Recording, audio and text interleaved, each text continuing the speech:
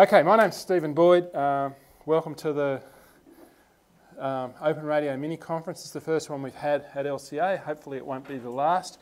Before I start, uh, a couple of procedural things. Um, the ladies and gents are just outside to the left and then to your right out there. Um, there's some cold water out there, a bubbler thing.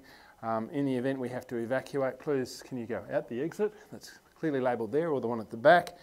Um, exit the building over here and assemble on the lawn between here and uh, the registration area. There's a, a, a, quite big rock out there. It's not that big. Um, that's supposedly the assembly point. Hopefully we won't have to um, do anything about that.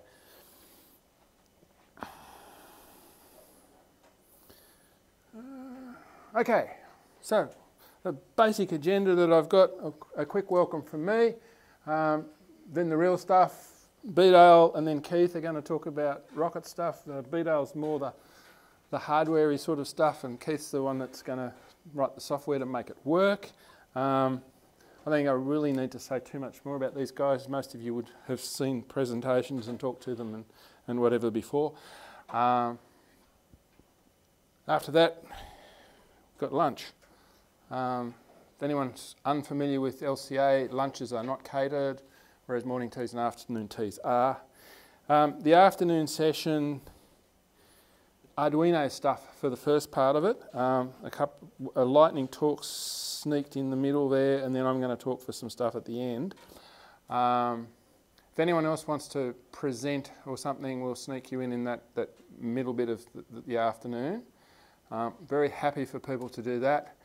Um, I'm planning to run this relatively informally. We're not too many people, and um, so feel free to suggest things and ask questions.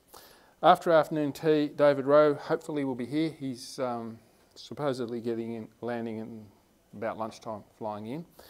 Um, and then we'll have a, some sort of panel session after that where the speakers and one or two other people who are very noisy can come and sit up here and take questions or, or, comment about stuff. It's very, very, very, very meant to be informal, just talking about things, not quite an unconference, but, but close to it. Um, so that's, that's really what we're doing. Um, tiny bit of information about me.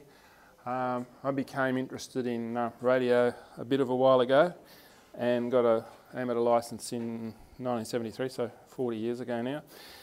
Um, seems like that too sometimes. I've owned personal computers of one sort or another since 1982. I bought a, a thing that's run an operating system called CP/M, and it had a massive amount of um, memory, 64k. Um, so things have changed a bit.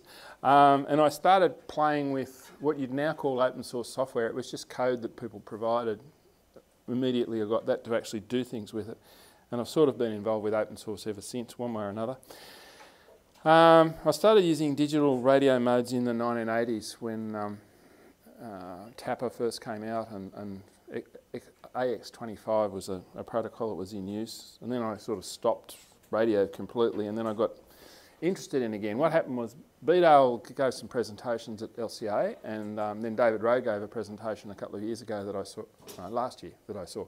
And I go, oh, this is interesting, I'll get involved again. And the whole end of it was that I decided to try and run this thing. Oh, and I became an amateur again because I'd let my license lapse, so I'm now VK1SS because I live in the ACT. Um, that's really me, um, but that's not, it's not about me. So, um, Bdale and then Keith. Thank you.